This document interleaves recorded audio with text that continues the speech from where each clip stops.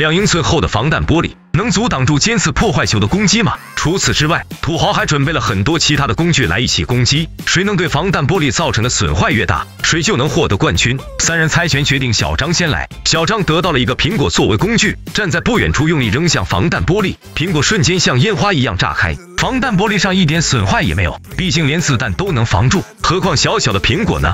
接下来就是土豪，他选择了玩具水球，玩具水球在防弹玻璃上炸开花，同样的破坏力为零。接着就是老王，他找来了一台古老的手机，手机被砸成两半。紧接着，小张得到了一把标枪作为武器，使劲将标枪扔出去，这下子竟然在上面扎出了一个像鸟屎一样的小坑，也算是率先造成了一些损坏。土豪则得到了一个扳手，他把扳手当成斧头用，扳手砸在防弹玻璃上，发出巨大的声音，吓得他赶紧躲到一边。但悲惨的是，并没有在上面制造出一些损坏。而老王获得了一个小号的钢球，老王拿着钢球很有信心，果然一下子就在玻璃上砸出了一个蜘蛛网，暂时排名第一，激动的嘴都合不拢了。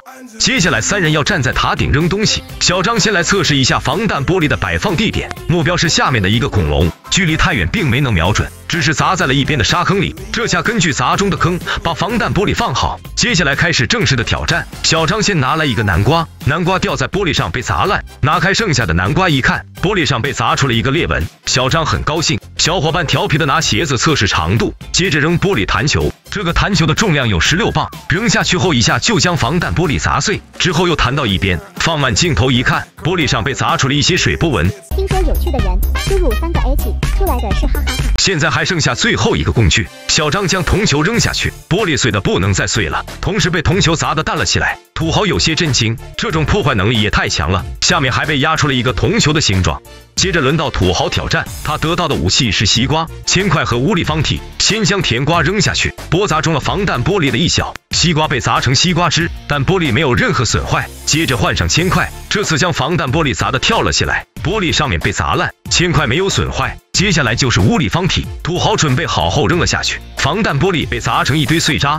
接下来换上老王的玻璃，他准备先扔玩具水球，没想到刚碰到玩具水球就破了，洒了一地，悲惨的只能把一颗颗玻璃水球扫下去，遭到一旁小伙伴的嘲笑。之后换上玻璃立方体，瞄准目标扔下去，这次悲惨的仍然没有砸中防弹玻璃，玻璃正方体没有受到损伤，最后只剩下黄铜的立方体了。老王能否对防弹玻璃造成伤害呢？他拿起实心的黄铜块扔下去，这下终于砸中了防弹玻璃，但是损伤情况却是最低的，而且黄铜块也有了一些损坏。最终经过专家鉴定，还是小张制造的伤害最大，获得了本轮的胜利。